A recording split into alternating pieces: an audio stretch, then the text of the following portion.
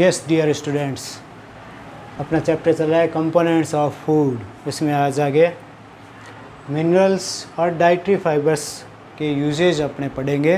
पिछले वीडियो में हमने फैट कार्बोहाइड्रेट प्रोटीन और विटामिन के यूजेज यानी वर्क पढ़ लिए थे हमारी बॉडी में क्या होते हैं।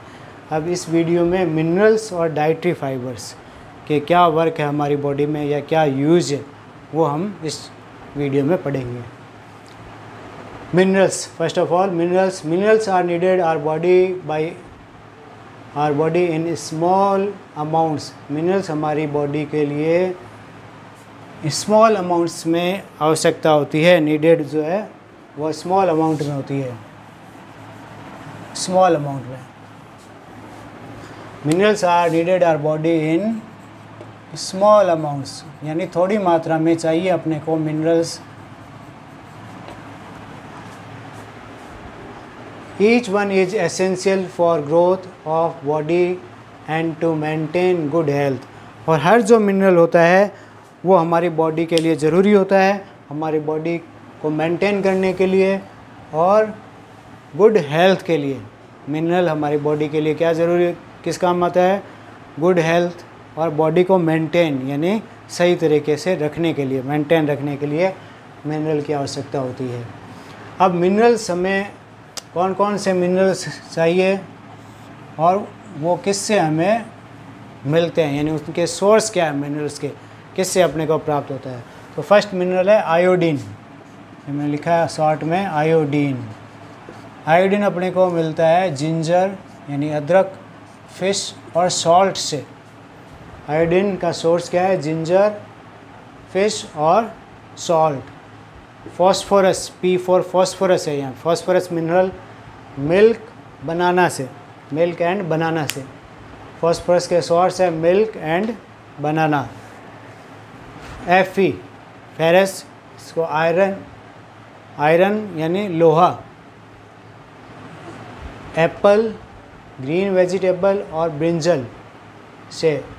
Calcium milk and egg milk and egg जो है गुड सोर्स ऑफ़ कैल्शियम है।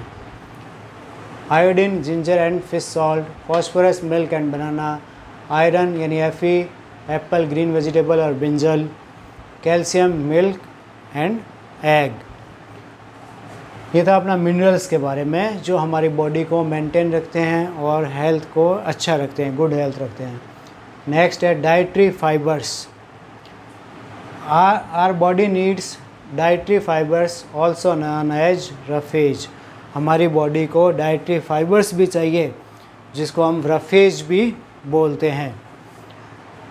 ये जो डाइट्री फाइबर्स है, वो प्रोवाइड होते हैं mainly plant products like whole grains and pulses potatoes fresh fruits ये जो डाइट्री फाइबर्स हम, हमें किससे प्राप्त होते हैं? प्लांट प्रोडक्ट्स से, जैसे ग्रेन्स जितने भी ग्रेन्स हैं अनाज पल्सेस दालें पोटैटोज आलू फ्रेश फ्रूट्स ताज़े फल। इनसे हमें डाइट्री फाइबर्स अपनी हमें मिलता है, अपनी बॉडी को मिलता है। Roughage does not provide any nutrient to our body roughage हमारी बॉडी को कोई भी न्यूट्रेंट्स नहीं देता है। यानी प्रोटीन कार्बोहाइड्रेट और फैट्स वगैरह नहीं देता है। न्यूट्रेंट्स नहीं देता है, कोई भी पोषक नहीं देता है। But it is essential component of our food लेकिन ये हमारे फ़ूड का एसेंशियल कंपोनेंट है, आवश्यक कंपोनेंट है। And adds to its bulk और इसको हमारे फ़ूड आइटम में बल्क में, यानी बहुत ज़्यादा मात्रा में बल्क मतलब बहुत ज़्यादा मात्रा में, यानी थोक में ऐड किया जाता है, जोड़ा जाता है खाने के साथ में, खाने में लिया जाता है।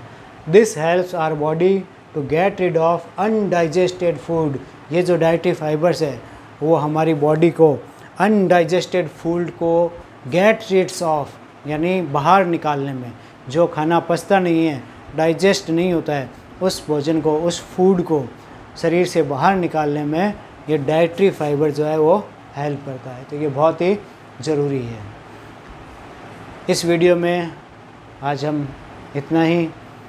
इसमें हमने पढ़ा मिनरल्स और डाइट्री फाइबर्स जो हमारे पार्ट ऑफ़ फ़ूड कंपोनेंट्स है। फ़ूड कंपोनेंट्स के फ़ूड कंपोनेंट्स है या फ़ूड के पार्ट हैं, जिनके बारे में हमने पढ़ा कि हमारे लिए, हमारी बॉडी के लिए ह्यूमन बॉडी के लिए क्या काम में आता है।